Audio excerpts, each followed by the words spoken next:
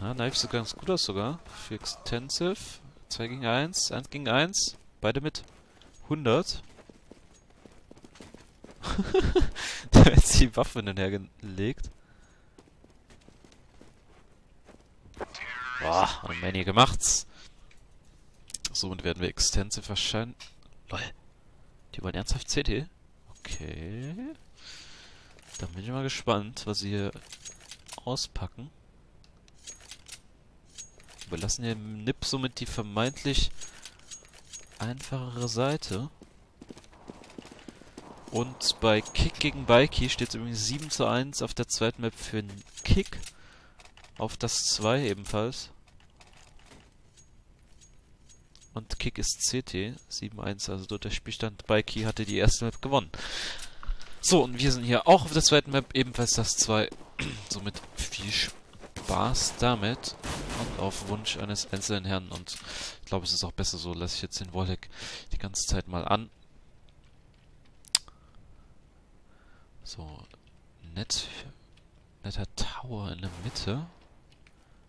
Aufstellung so auch noch nie gesehen.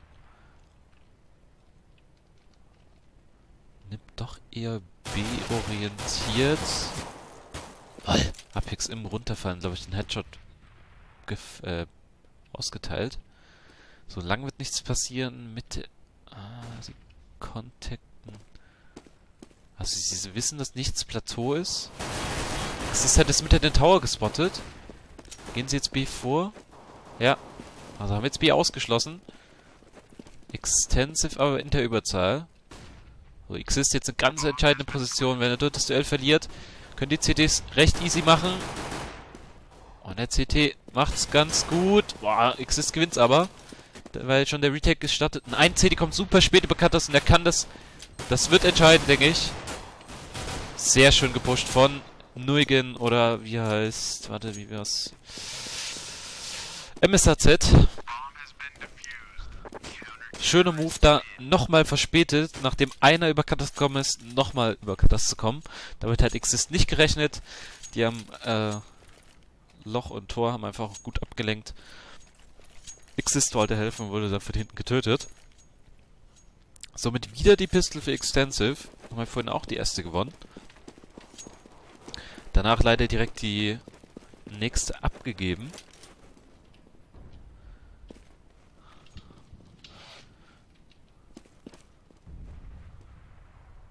Spotted P250. Uiuiuiui. Dicke Probleme dabei, Extensive. Aber er hat richtig viel Schaden gemacht. Die AE kann sogar... Ah, schöner AE. Also hat der CT dann doch Guten Job geleistet. Apex muss nach rechts aufpassen, was er auch tut. Schön, Mann. Sauberes Knife von dem SHZ. Und wie gesagt, das ist nicht nur spaßig, sondern bringt auch einen enormen Geldboost. Was ihm jetzt auch die AWP verschafft. 1500 kriegt man für Knife Kill. Das ist wirklich eine Sache, die ich sehr mag.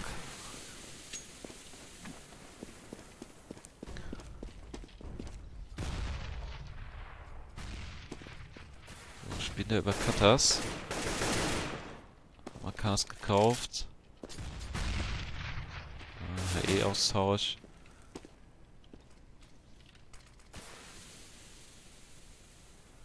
So, nehmen jetzt wieder lang ein. Extensive übernimmt die Mitte. Kurz ist gerade offen. Okay, so bauen sie jetzt wieder um. Und nippt mit dem B-Split. So, da gibt es die erste Flecht drüber, die zweite.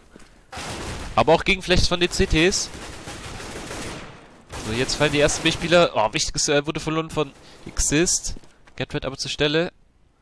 So, Forrest kann jetzt... Oh, nein. Forrest Pose bekannt. Jetzt können sie es gut runterspielen. Sollten Plateau pushen. Oh, schöne Pose genommen von Maniac. Extrem gut gespielt. Apex sollte jetzt vielleicht ablenken am Loch gleich. Manic darf es nicht zeigen.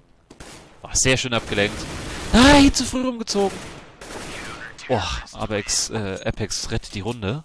Uiuiui.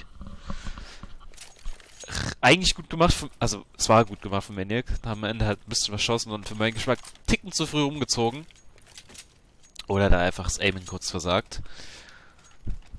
Eine Waffe dann somit äh, vielleicht zu viel verloren jetzt letztendlich, aber overall gesehen passt das doch.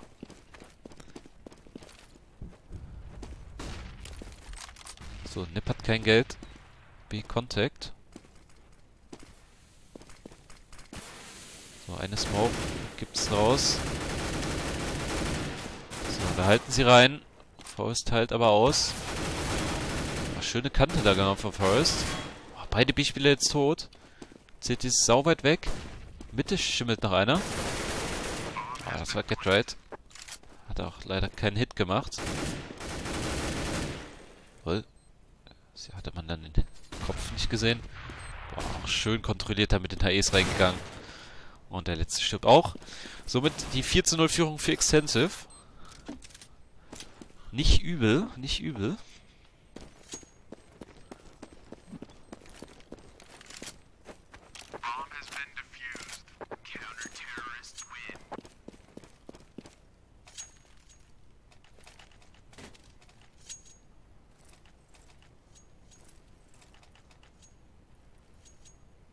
So, Kick schon mit der 10 zu 2 Führung. Krass, also da geht's wahrscheinlich auch auf eine, äh, aber es ist auch, geht's wahrscheinlich auf eine dritte Map. Was ich ehrlich gesagt nicht wirklich erwartet habe. So, wir sehen die erwartungsgemäße AWP bei Nip. Extensive traut sich aber was, pushen die Katas. Stehen da extrem aggro in der Mitte. Oh, auch ein geiles Doppel. Apex lenkt dort ab. Aber ich finde die Pose irgendwie nicht so gut wie in 1.6. Wenn der T da rumkommt, hat er irgendwie, trifft er irgendwie meistens eher den Headshot. Ich weiß noch nicht so genau warum. Und Apex riskiert was, geht Mitte hoch, aber sie sind schon... Ah, okay, was heißt riskieren? Kam die Ansage, dass sie lang drauf sind.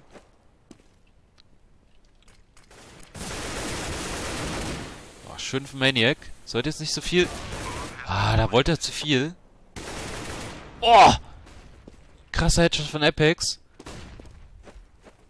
Fiflan hat er verschossen mit seiner AWP wohlgemerkt. Feedback wird abgeflecht, sieht allerdings schon wieder was. So, wissen, wo beide CTs sind. Oh, da fehlt gerade die Waffe, das Waffenmodel. So, kein Kit sollte vielleicht eher tauschen. Ah, er zieht durch. Er zieht durch, der T weiß es nicht. Oh, er hat's geschafft. Alter, wie gut. Oh, aber... Ach, guck mal, da war ein Kit. Da genau neben dem Spot lag ein Kit. Warum er das nicht vorher pickt? Oder ganz kurz abbricht. Ja, wobei, da hätte er T gesehen. Aber das sollte er eigentlich vorher picken. Das ist natürlich super bitter, aber es hat gereicht.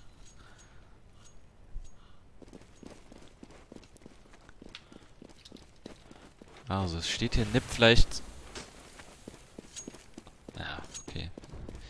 Ich spreche es mal noch nicht aus. Es ist eigentlich noch viel zu früh. Aber Nip steht auf jeden Fall mit dem Rücken zur Wand gerade. Jetzt ein Slow Argo. A ist gar nicht so gut gedeckt. MSHZ verschießt. Einer CD-Base. Apex hat aber aufgepasst. MSHZ stirbt. Medic deckt nach lang und da kommt auch einer verzögert. Aber richtig ekelhaft verzögert. Maniac weiß das und der T geht sogar so weit... Boah, so gut gespielt von Fiflan eigentlich. Aber Maniac gewinnt das. Also sie gewinnen gerade so ungewinnbare Duelle eigentlich. Holen da wieder ein 2 gegen 2 raus.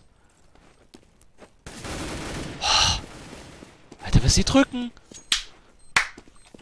Was die Franzosen machen gerade, unglaublich. Aber Nip irgendwie gerade läuft ihrer Form ein bisschen hinterher. Sie gewinnen keine Duelle mehr. Sie kommen auf den Spot und dann halten sie ihn einfach nicht.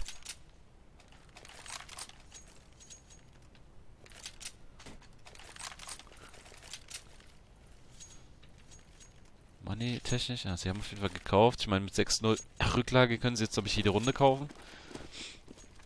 Der Plan gibt erste Mal Hit in der Mitte.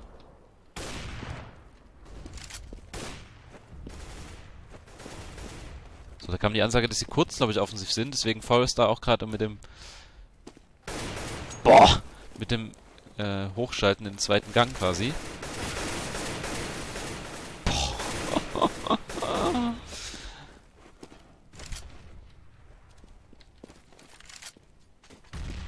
So, Nip ist einfach scheißegal, dass hier gerade 6-0 hinten liegen.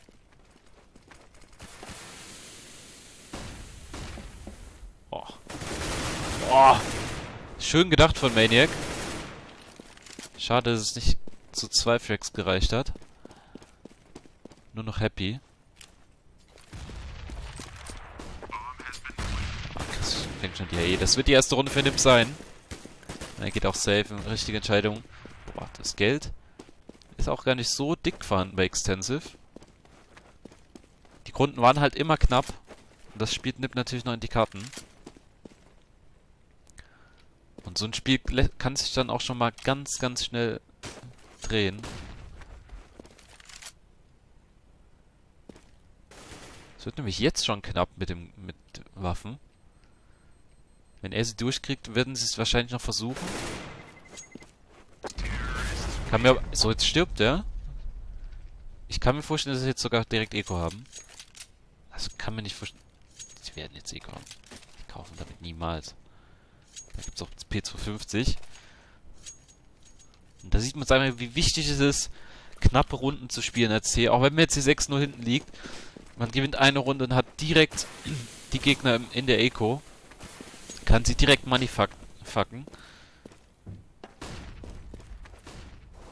Sowas darf man nie vergessen. Auch wenn man eine hohe Rücklage hat. Wenn man vorher immer knapp Runden gespielt hat, kann man das Comeback auf jeden Fall noch schaffen. Andersrum, wenn es sowieso nie knappe Runden sind, dann hat, haben die CDs halt so oft immer noch Geld. Dass sie sich auch oft dann noch AWP leisten können und sowas. Und dann wird es natürlich enorm schwieriger.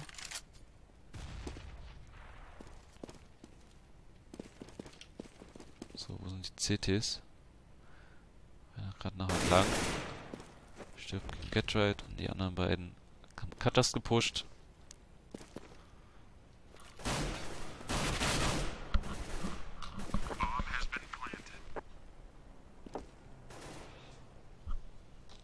Gibt eigentlich auch keinen Grund für Nippets hier drauf zu gehen. Finde ich.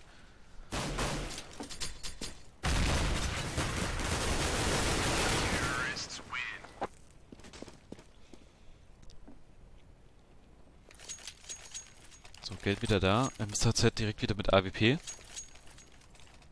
Macht da eigentlich auch einen ganz vernünftigen Job.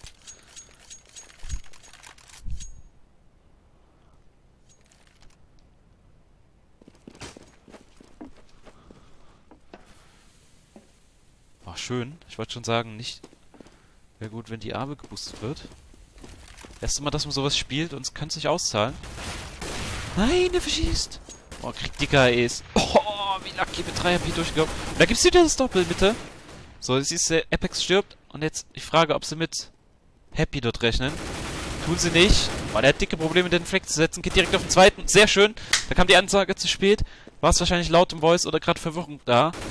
Get somit tot. Nur noch GMX. MSHZ und Happy am Leben. Nip hat nicht die Bombe. Wahrscheinlich oben Cutters down.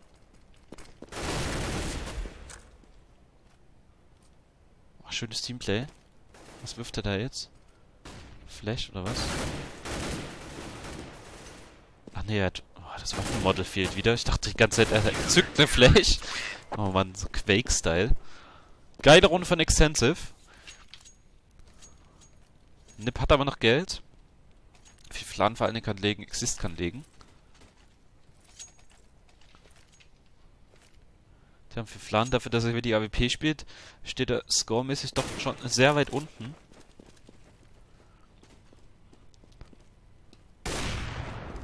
Trifft nicht. Doppel-AWP sogar bei den Franzosen. Also auch was Neues. Und die spielen es wieder aggressiv. Was heißt aggressiv? Haben lang geblockt. Frieberg da allein vorgegangen. Warum auch immer. Ehrlich gesagt. Nein, oder?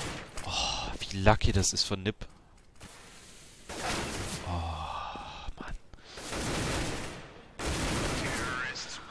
Oh, wie bitter. So unverdient irgendwie. So random vor allen Dingen auch, die Runde. Das war jetzt nichts gut gespielt oder so von Nip. Da war, haben sie, ab, hat Existence einfach, Existence sag ich, Extensive, lang einfach mal kurz gefailt. Schon ist die Runde verloren. Meiner Meinung nach total unverdient, zumal der Täter allein einfach vor ist. Ohne dass, meine ich, vorher klar war, kurz offensichtlich sind oder sowas. Oh, das erste Mal, dass Fladen da was am Tor tötet.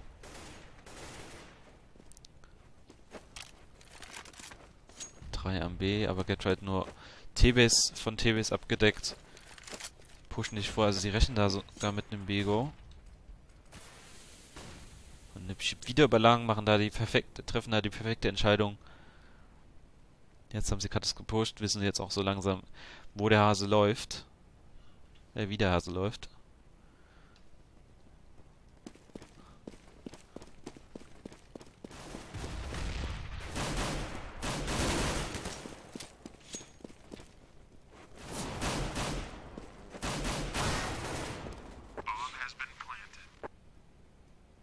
So, aber immerhin, ich meine, sieben Runden. Da geht noch mehr. Mein Pistol haben sie gewonnen. Nipp gerade mal mit vier... Ne, mit zwei Equipped Rounds, wenn man die Ecos von Extensive abzieht.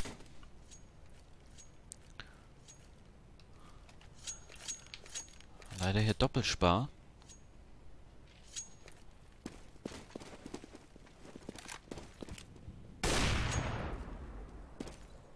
Diesmal Richtung lang.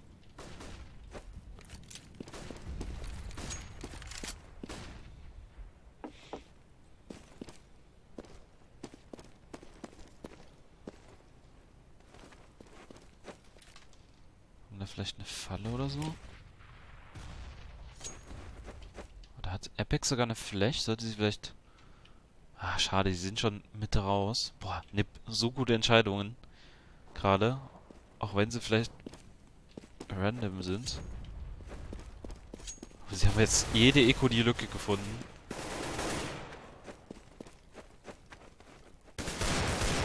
Oh, schöner Schuss von MZZ. Oh, vielleicht kann Maniac da noch was machen in Katas. Nee. Wechsel schon lang geholt. Maniacs Posi auch bekannt. Zumindest so ungefähr.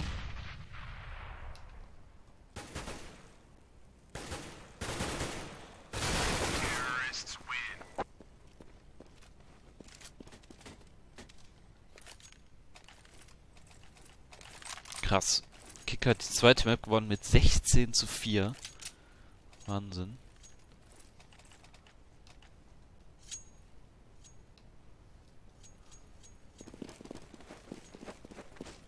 Also, das kommt zu einer dritten Map.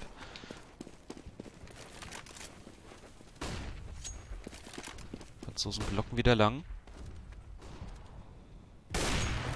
Nimmst halt mit dem ersten.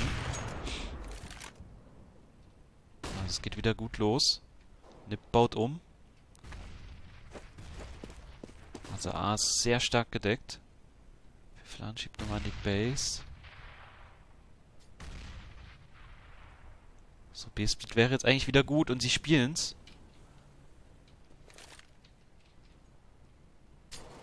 Boah, aber guter E. So, jetzt die Flash ist drüber. Und da steht, wer am B? Oh, ist eh schon gestorben. Beide Spieler fallen.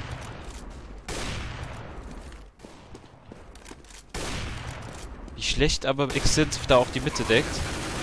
Sie sind halt super anfällig für B-Split oder B allgemein. Das hat Nip auf jeden Fall schon verstanden. Und genau so spielt man's. Sie fangen zwar First Track an lang, aber es ist ihnen scheißegal, sie orientieren sich direkt, da gibt's direkt die Ansage, was gespielt wird. Bauen direkt um sind, und spielen das sogar relativ früh. Und schon ist Nip wieder ran, mit sechs Runden. Extensive mit der nächsten Eco. Flan hittet auch langsam was durchs Tor.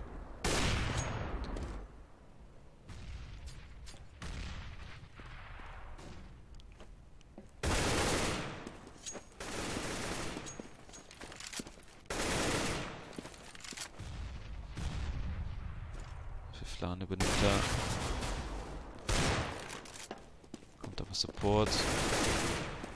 So, Nip wieder mit der typischen Entscheidung überlang. Also wenn man... Ich, mich würde mal...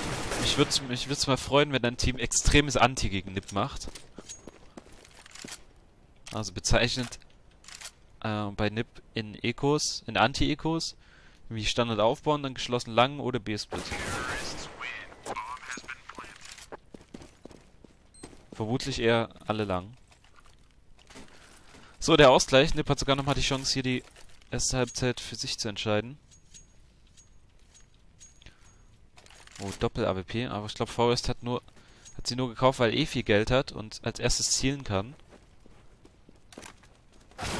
Boah, da hat MSZ keine Chance gegen zwei AWPs.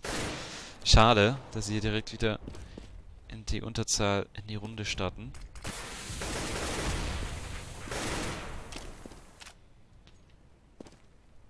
So, aber hey, Refake von Apex. Ziehen sich aber defensiv auf Spot zurück. Wieder orientieren sie sich B. So, der rammt auf GMX an. Ist bisher der schlechteste im Team und das stellt auch leider unter Beweis. Kassiert direkt Headshot, duckt da hoch. Nip hat einfach Instant Headshot gegeben. Und ähm, ist Extensive mit dem Retake-Versuch. Freeback stand aber auch wieder zu gut. Equipment haben sie zwar noch viel, aber ob das reicht, ich wage es zu bezweifeln. Oh, da flechten sie sich sogar selbst und jetzt guckt er nicht mehr links, äh, rechts an die Kisten, an das, an die Fässer. Und dann sterben, sterben sie alle. Nip gewinnt hier sogar noch die Halbzeit, nachdem sie 5-0 lagen, dann 6 5-1 oder 6-1? Ich glaube 6-0 war es, oder? Dann 6-1, dann 7-1. Also wo sie 7-1 hinten lagen, machen sie noch das 8-7 draus. Krass. Dennoch, die Franzosen extrem stark in der ersten Hälfte der ersten Halbzeit.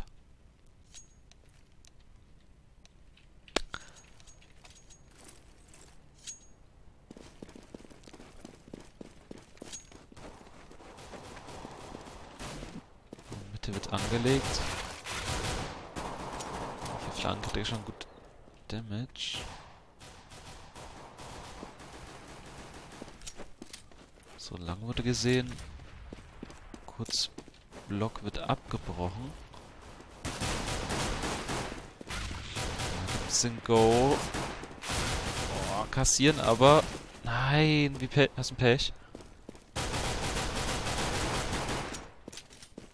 Scheint jetzt B zu gehen, aber sie sind laut. Oh, und das wird nicht schwer für Exist, äh, für Nip da jetzt gegen zu stehen. Aber Maniac konnte den Spot-Spieler töten.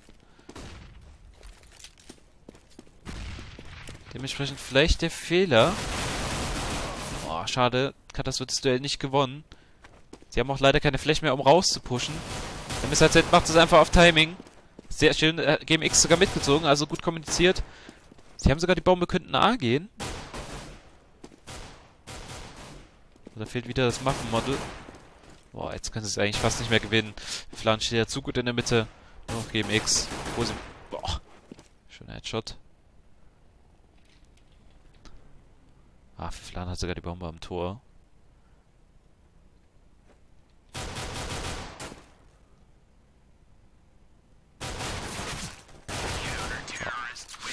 Und Pfifflan macht's. Nip gewinnt die Pistol. Overall Pistol-Statistik 2 zu 2. Wenn ich hier nichts zwischeneinander gehauen habe. Doch, ich glaube schon. Also Extensive vorhin auf Inf die erste gewonnen. T-Pistol verloren. Und jetzt hier wieder genauso.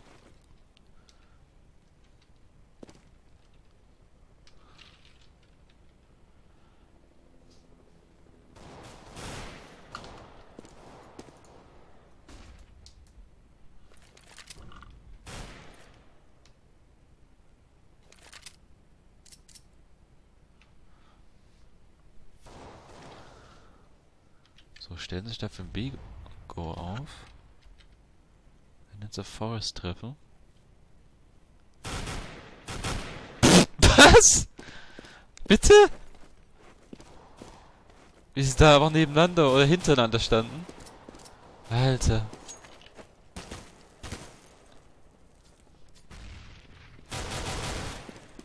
Was für Dinger das schon wieder waren, Forest, von Forest. Einfach abnormal.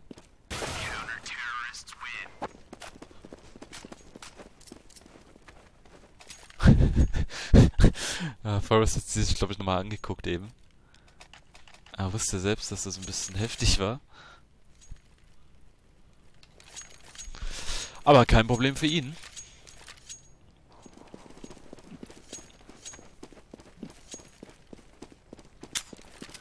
So, noch eine Eco für Extensive. Vielleicht bekommt Getride jetzt mal was zu tun.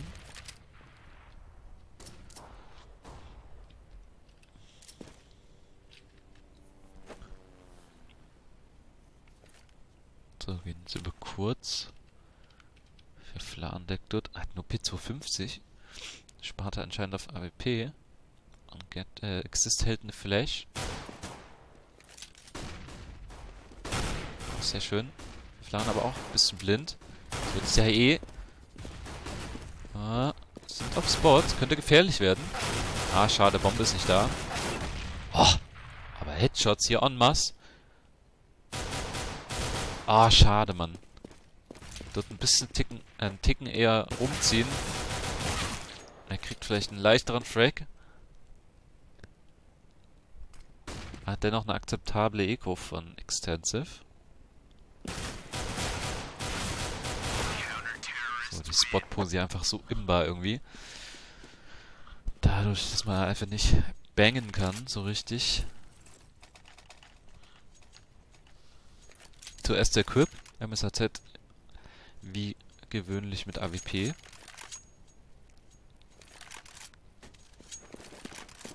Aber Fiflan müsste eigentlich auch eine haben. Nip blockt kurz. Apex sehr schnell durch. Gibt's einen Tower zu kurz? Apex war schon sehr früh da. Nip hat damit nicht gerechnet. So, Apex sieht ihn und er geht auf Frag. Nein, mach ihn doch. Oh, wie bitter. Guckt euch die AP an. Mit 3 AP kommt er da durch. Wie lucky Nip aber auch manchmal ist, ey. Unglaublich. So, er ist wenigstens gestorben. Extensive mit der Überzahl. Sie müssen das holen jetzt. Sag nicht, der hatte die Bombe. Hat er nicht. So, Spot A war angesagt. Mitte geht's raus. Treffen da auf Forest, der eben schon extreme Schellen gegeben hat. Gibt jetzt keine. Sauber. Und jetzt nur noch Freeberg CT-Base. B kann raus. Sehr schön stirbt und nur noch Get Right mit der AWP von für Flan wahrscheinlich. Sehr schön. Gutes Gas von Apex. Schade, dass es den zweiten nicht kaputt gekriegt hat. Aber der war ein bisschen unlucky.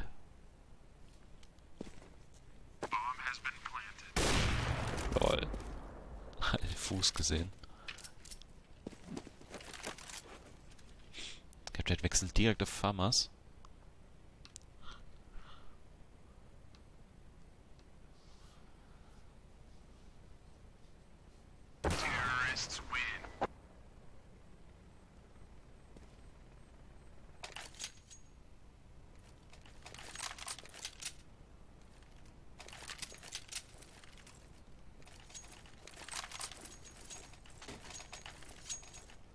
So, ich schaue nebenbei kurz, wie es bei Kick steht. 3-3 äh, steht es dort auf Nuke auf der letzten Map, auf der dritten. Nip hat auf jeden Fall Geld. Extensive mit dem extrem defensiven Aufbau. Guck mal, da ist noch T-Base hinten. 20 Sekunden lang T-Base schimmeln. NP.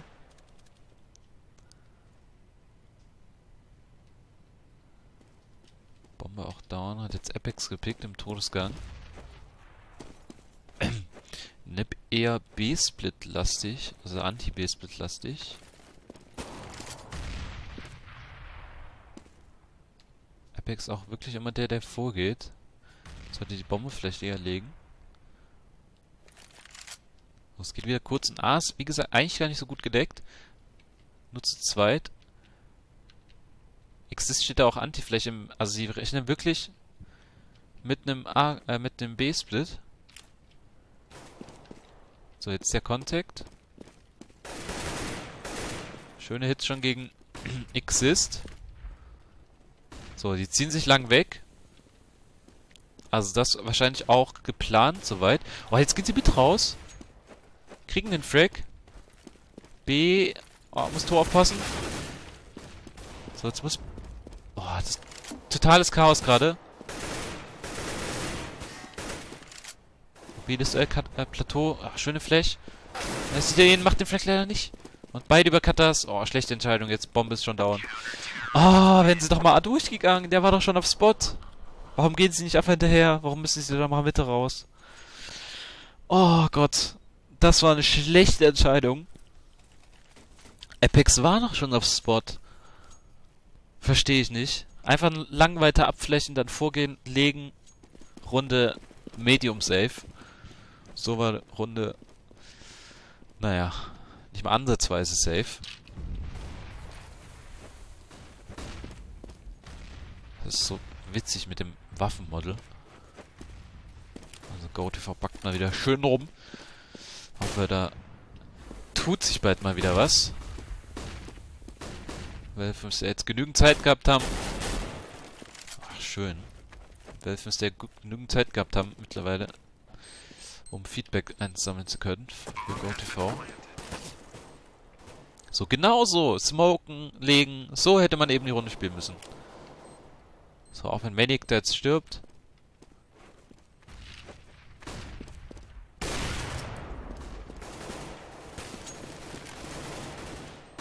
Oh, geht halt auch noch ein. Gefährlich. Wichtiger Shot von Happy. Oh, jetzt nur noch Happy. Sauber macht den ersten. Wird abgezielt. Bombe wird schon gefused und die liegt schlecht für ihn. Ich Double Face palmiere gerade. Oh Mann. Ich habe vorhin schon so ein bisschen gefragt, warum sie dort hinlegen und nicht einfach zu kurz.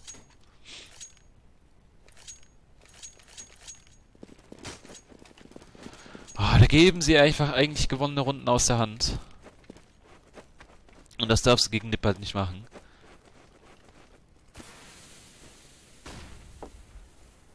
Oder das kannst du dir einfach nicht erlauben. So rum eigentlich.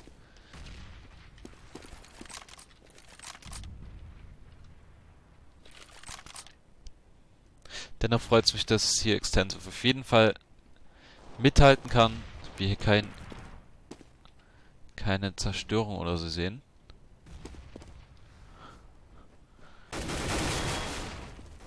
Schönes Timing. Aber Get halt wieder direkt zur Stelle.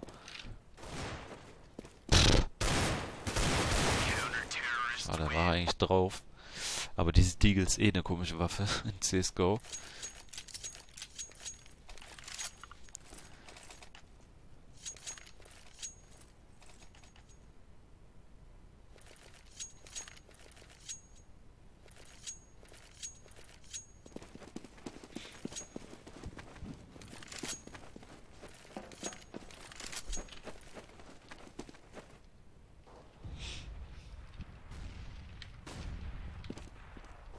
wieder schnell kurz. A wird wieder außerhalb gedeckt. Keine AWP bei Nip. Jetzt vielleicht nochmal so ein Fake. Ah, die Flash. Ich weiß nicht, ob die so gut ist. Gibt es Gegenflächen die Base? Boah. Da gucken sie sich fast direkt an. Oh, Nip steht da wieder super. Da fehlt eigentlich jetzt nochmal eine Nachsmoke. Boah, schöner Headshot von Apex. B vielleicht drüber flächen. So, sehr schön. Apex muss da sogar den Frag noch machen. Ach, stimmt. Happy leider an der Mitte. Ach, Runde gar nicht. Ach, die Bombe noch nicht... Nein, er hätte die Bombe, oder? Ne, Maniac hat sie. Schade, er hat ja gewartet, bis Epic nochmal was macht, aber Getright einfach zu stark. Da wurde auch ein Loch gesehen. Sollte jetzt eigentlich fast noch... Er braucht halt einen Frack, ne? Oh. Also aimstark sind die Franzosen, ja, keine Frage. Bombe müsste auch noch durchkriegen. schade. Gatway einfach mit gutem Pre-Aim, aber da muss er auch nicht wirklich irgendwo anders hinzielen. So, Nip mit dem Draw.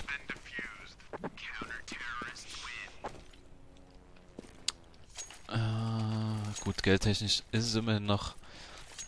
Sieht's ganz okay aus bei Extensive.